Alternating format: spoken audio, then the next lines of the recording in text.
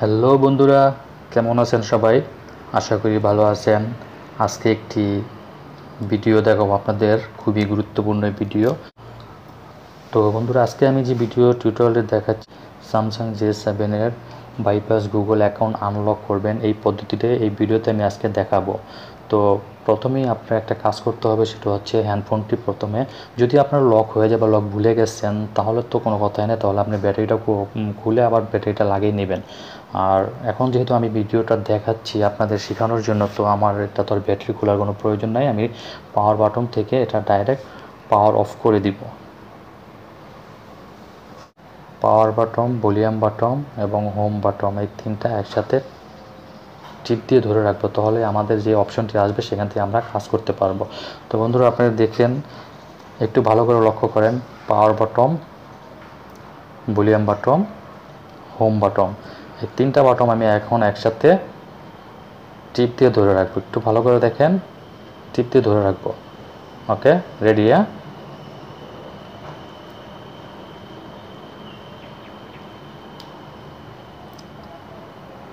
বাটনটি ছেড়ে দিবেন। হ্যাঁ।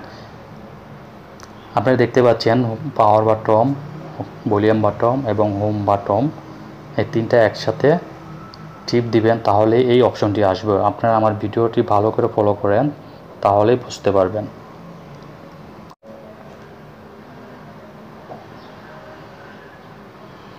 হ্যাঁ। পাওয়ার বাটন দিবেন, দেওয়ার পরে এখানে দেখেন আপনারা, একটু ভালো করে দেখেন। হয়তো লেখাগুলো একটি ক্লিয়ার বোঝা যাচ্ছে না।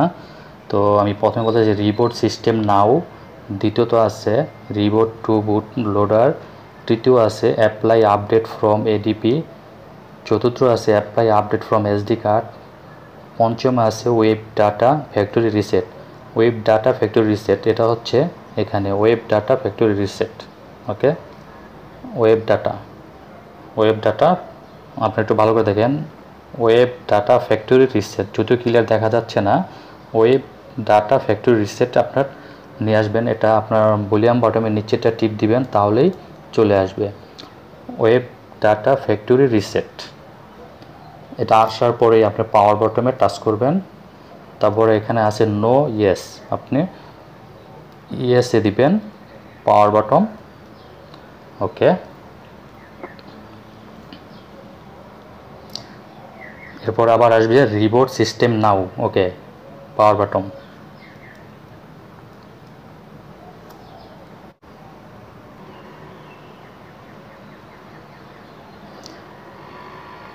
তো বন্ধুরা দেখতে পাচ্ছেন স্টার্টিং হচ্ছে।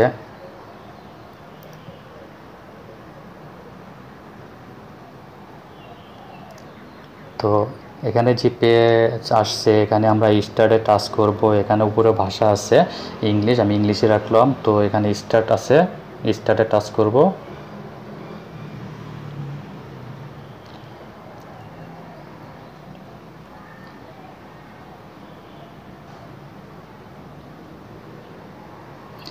তো এখন যে অপশনটি আসছে, এখানে ওয়াইফাই আপনার কানেকশন দিতে হবে। এখানে ওকে টাচ করলাম। ওকে টাচ করার পরে এখন যেহেতু আমরা অনেকেই ওয়াইফাই ব্যবহার করি না, তাহলে আমরা ওয়াইফাই কীভাবে কানেক্ট দিব?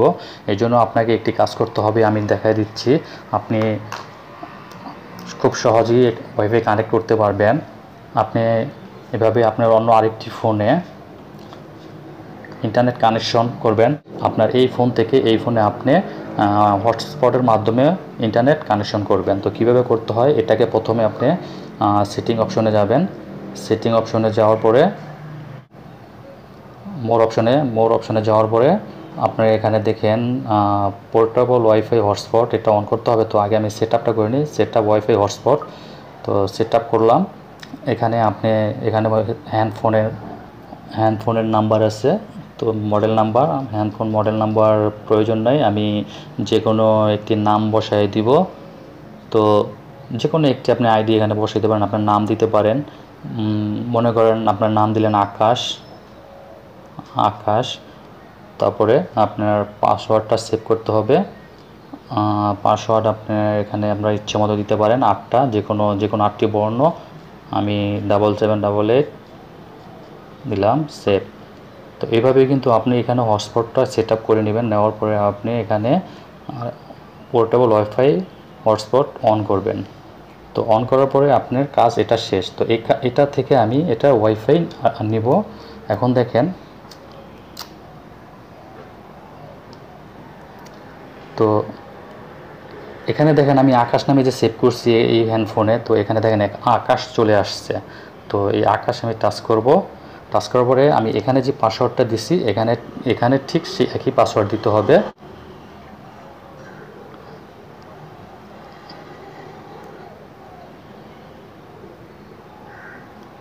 তো বন্ধুরা দেখতে পাচ্ছেন ওয়াইফাই কিন্তু কানেক্ট হয়ে গেছে, ঠিক আছে? ওয়াইফাই কানেক্ট হয়ে গেছে। তো এটার কাজ আপাতত শেষ, আমি এটাতে কিছু কাজ করতেছি। এখন আপনি সর্বশেষে দেখেন নেক্সট ওয়াইফাই কানেক্ট হয়ে গেলে আপনি নেক্সটে টাচ করবেন।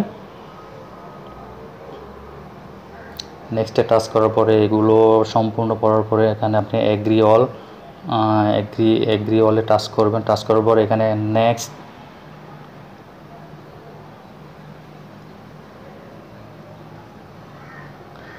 সফটওয়্যার আপডেট একটু ওয়েট নেবে। তো এটা একটু নতুন সিস্টেম যা অনেকেই জানে না এজন্য হ্যাঁ, আমাদের যেতে হয় কম্পিউটার দোকানে। তো এখন এখানে ইমেল আর ফোন নাম্বার অর্থাৎ আপনার ইমেল আইডি চাচ্ছে জিমেল তো দেখেন আমি এখানে জিমেল আইডি দিব দেওয়ার পরে কিন্তু এটা খুলবে না। আগের সিস্টেমে কিন্তু খুলতো এখন সিস্টেমে খুলতেছে না। তো মনে করেন এখানে আমি আমার একটি আইডি দিচ্ছি। নেক্সট টাচ করবেন আইডিটি দেওয়ার পরে নেক্সটে টাচ করবেন। তো ওকে খুলবে না কিন্তু ঠিক আছে এইভাবেই আসবে। তো বন্ধুরা এইভাবে যখন আপনারা আপনার আইডিটা দিবেন দেওয়ার পরে কিন্তু নেক্সটে দিবেন দেওয়ার পরে কিন্তু পাসওয়ার্ড যাবে তারপরে তো ওকে বন্ধুরা, এভাবে আমরা কাজ করতে পারি। তো দেখা গেছে যে এখানে আমরা টাচ করে যে কোনো বর্ণ আমরা টাইপ করব টাইপ করব। তো আপনারা আমার ভিডিওটা একটু ভালো করে দেখেন। এখানে টাচ করব। টাচ করার পর আমি এখানে যে কোনো বর্ণ লিখব, বর্ণ লিখে এখানে টাচ দিয়ে দূরে রাখব। টাচ দিয়ে দূরে রাখার পরে যে একটা অপশন আসবে, দেখেন। উপরে তিনটা কর্নার বিন্দু আছে অ্যাক্সেস এখানে টাচ করবেন। তো এটাতে যদি না আসে, তো আমরা আরেকটি পথ দেখব। ওখানে কিবোর্ডে দেখবেন সেটিং অপশন আছে, আমরা সেটিং অপশনে টাচ করব। টাচ করার পরে দেখবেন একটি টেক্সট শর্টকাট আছে। টেক্সট শর্টকাট অপশনে আমরা টাচ করি, উপরে অ্যাড অ্যাডে টাচ করব। অ্যাডে টাচ করার পরে এখানে যে কোনো বর্ণ আমরা লিখব, লেখার পরে টাচ দিয়ে ধরে রাখব। ধরে রাখার পরে দেখেন ডান পাশে কর্নারে গুগল লেখা আছে, এখানে টাচ করব। তো আপনার সেটটি অবশ্যই ইন্টারনেট কানেকশন থাকতে হবে। আমরা এখানে খালি বক্সে লিখব চরম। তো চরম লেখার পরে এখানে যে অপশন আসবে, আমরা অ্যাকসেপ্টে টাচ করব। অ্যাকসেপ্টে টাচ করে নো থ্যাঙ্কস নো থ্যাঙ্কসে টাচ করি। এখন যে সার্চ বক্স আছে, এখানে আমরা লিখব অর্থাৎ একটি আমাদের ওয়েব লিখতে হবে। L A V I L E Z test service আমরা এই অপশনটি লিখে এখানে টাচ করব ডাউনলোড লাবিলেস টেস্ট সার্ভিস টাচ করার পরে এখানে দেখেন একটি অপশন আছে সাইন ইন গুগল অ্যাকাউন্ট এখানে টাচ করতে হবে। টাচ করবে এটা আপডেট অ্যালাও এটা অটোমেটিকভাবে ওকে অটোমেটিকভাবে ডাউনলোড হবে। তারপরে আপনার হ্যান্ডফোন যে ভার্সন সেই ভার্সন আপনাকে টাচ করতে হবে। যদি ফাইভ পয়েন্ট জিরো হয় তাহলে ফাইভে গুগল অ্যাকাউন্ট ম্যানেজার আমারটা যেহেতু six point zero Android version তো আমি এটাই টাচ করলাম। আপনার যদি সেভেন পয়েন্ট জিরো হয়, তাহলে আপনি সেভেনে টাচ করবেন। তো ডাউনলোড হচ্ছে ডাউনলোড হওয়ার পর নিচে একটা অপশন আসবে ওপেন লেখা। আমরা ওপেনের সাথে সাথে টাচ করব। যদি এটা চলে যায়, আপনি আর পাবেন না, পরে আবার করতে হবে। এখানে যে দুইটা অ্যাপ আছে, আমরা এটা ইনস্টল করে নিব। আননোন সার্চে টাচ করে ওকে করে নিব। এটা সাধারণত লক থাকে, আমাদের ওপেন করে নিতে হয়। তো বন্ধুরা মনে রাখবেন যে অ্যান্ড্রয়েড ফোনে যার যে ভার্সন সেই ভার্সন অনুযায়ী আপনারা কিন্তু সফটওয়্যারগুলো ডাউনলোড দিতে হবে। এফআরবি বাইপাস সফটওয়্যারটি আমরা এখন ইনস্টল করতেছি। ইনস্টল হয়ে যাওয়ার পরে একটু ওয়েট করতে হবে। ওপেনে টাচ করি। ওপেনে টাচ করার উপরে দেখেন, উপরে ডান পাশে কর্নারে তিনটি বিন্দু আছে, এখানে আমরা টাচ করি। টাচ করার পরে যে পেজ আসবে browse in sign in browse sign in okay touch করি। এখানে যে অপশন আসছে, অর্থাৎ আপনার জিমেল আইডি এবং পাসওয়ার্ড আপনাকে টাইপ করতে হবে। আমরা সাইন ইনে টাচ আমরা সাইন ইনে টাচ করলাম। এখন ব্যাগে চলে আসি। ব্যাগে চলে আসার পরে দেখেন, আপনারা আগের সেই প্রথম পেজে চলে আসছি। এখানে স্টার্টে টাচ করেন। টাচ করার পরে এখানে আমরা নেক্সটে টাচ করব। নেক্সট নেক্সট এগ্রি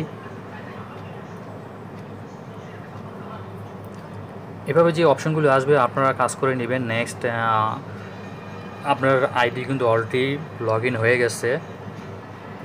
তো বন্ধুরা এইভাবেই কিন্তু আপনারা গুগল বাইপাস এখন আনলক করতে পারবেন। অর্থাৎ এই ফোনটি যদি কেউ ইউজ করে থাকে, তাহলে তো বন্ধুরা এভাবেই আমরা বাইপাস গুগল অ্যাকাউন্ট আনলক করব, অর্থাৎ আগের যে আইডিটি ছিল সেটা আমরা পাসওয়ার্ড জানি না, বিধে আমরা এই পদ্ধতি করছি। তো এইভাবে আমরা নতুন জিমেল আইডি এখানে সাইন ইন করতে পারব। আমার এই ভিডিওটি অবশ্যই আপনাদের যদি ভালো লাগে থাকে, তাহলে সাবস্ক্রাইব লাইক শেয়ার করবেন। তো এভাবে স্টেপ বাই স্টেপ কাজ করলে আমি আশা করি আপনার সেটটি সম্পূর্ণ ওকে হয়ে যাবে। আমার ভিডিওটি ভালো করে দেখবেন। নেক্সট তো বন্ধুরা, এভাবেই স্টেপ বাই স্টেপ কাজ করবেন। Skip next agree yes complete